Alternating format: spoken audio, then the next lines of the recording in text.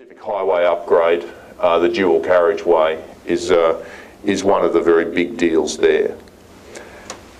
But those in this room, I'm sure, will be very interested in the loss carryback provisions, which uh, is, is the last column there. This is quite important for small business, uh, quite important indeed. Uh, and there's a few things here for small business which, uh, which are worth taking account of. The loss carryback uh, indicates that if you're profitable this year, but you dip into the red because of an investment outlay, you can then deduct that back against prior profits. Okay? And that is a valuable thing in an era where manufacturing, for instance, is suffering from the high currency and competitiveness issues. And it may be that they need quite substantial capital expenditures to bridge that competitiveness gap. But because their sales aren't great right now, they may have to dip into the red to do that. But because they were profitable in the past, they will be able to use the tax system to help them out. So the loss carryback is a big deal, and uh, it was something that was in the Henry Tax Review a few years ago, and has only actually got focused now. Uh, on the vehicle side of things, accelerated depreciation, uh, $5,000 up front uh, for new or used. Uh, good news for the, uh, for the small business sector where commercial vehicles uh, are there and also accelerated depreciation on other assets, other eligible assets. Uh, this used to have a $1,000 cap on the, on the upfront. it's now six and a half. So there's actually quite a good little example in the budget papers of how this might work. Uh, let's say you're a printing business and you, you purchase six, six new, sorry, four new copiers uh, at $6,000 each. Under the old system, you can only write off $1,000 of each of those instantaneously. Now, each $6,000 machine will qualify. So lifting this threshold, I think, really does matter for small business because they're the, they're the group which are buying capital equipment which is expensive um, for them uh, and over this $1,000 threshold, but maybe isn't absolutely extravagant. We're not talking hundreds of thousands or millions for this sort of equipment, so that threshold makes sense, and I think it will be used, and I think it will assist small business through this difficult transition period with the very high currency and the cautious consumer.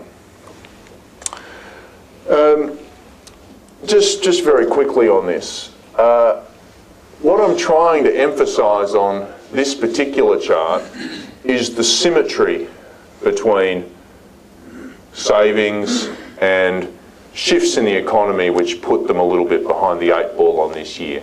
Basically, in this year itself, they've done just enough to stand still. This surplus is an enormous political policy focus for the government. They were never going to miss it. And uh, they found as much as they needed to find to make sure that the numbers barely shifted. And uh, that was always going to be the case. Our hope going forward is that there is uh, there's less uh, sort of fine massaging of the fiscal position and uh, a little less focus on what the dollar figure is at the end of the day and a little more focus on the mix of policy throughout the economy. But what are they saying about the economy itself uh, versus what we're saying?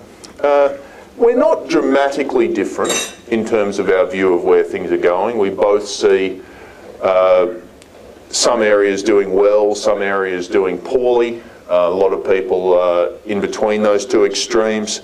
Uh, we don't think the world economy is as strong as they do. Uh, we're quite pessimistic about uh, the European situation, uh, nonplussed by the United States.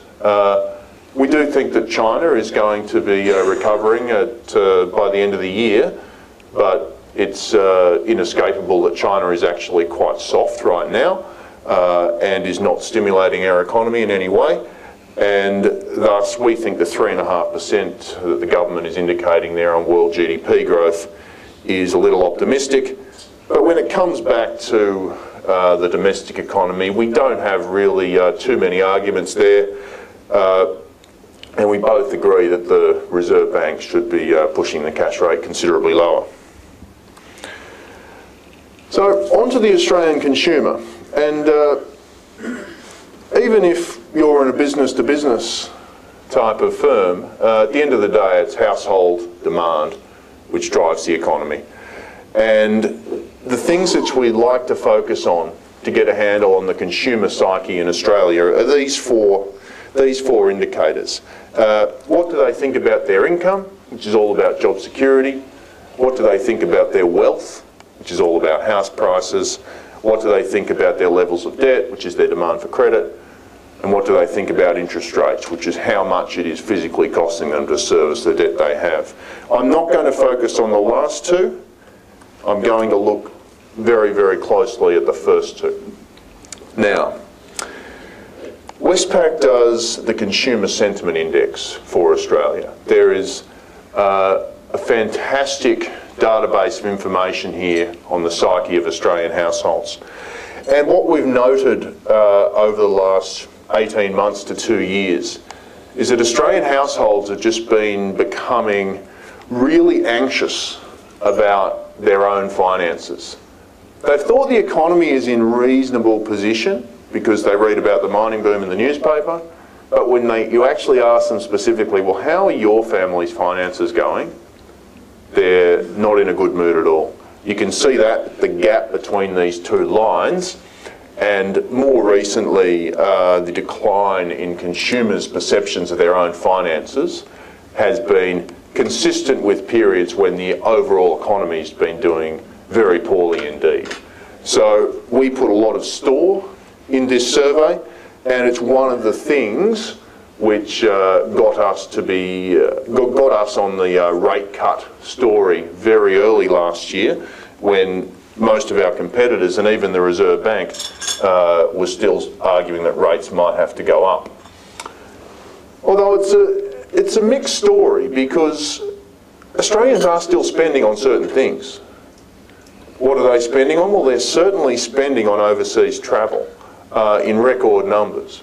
Now, I'm sure a lot of people in this room have taken an overseas holiday, uh, may have taken multiple overseas holidays taking advantage of where the Australian dollar is over the last couple of years. Well, you're not alone because departures in international travel have gone to record levels.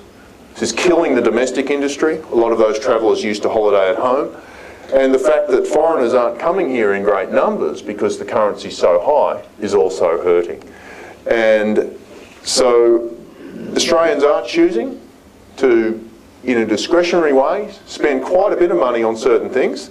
They're not spending on others. They're not going into the shops. They're not buying clothing. They're not buying footwear. Uh, the retail industry is really suffering. And as goes consumer confidence, so goes business confidence. That's what this chart is telling you. Uh, businesses cannot disconnect themselves from the state of the household sector. We're not just uh, an export economy who sends cars overseas. Uh, that's not what we do. Uh, we're very much domestically driven.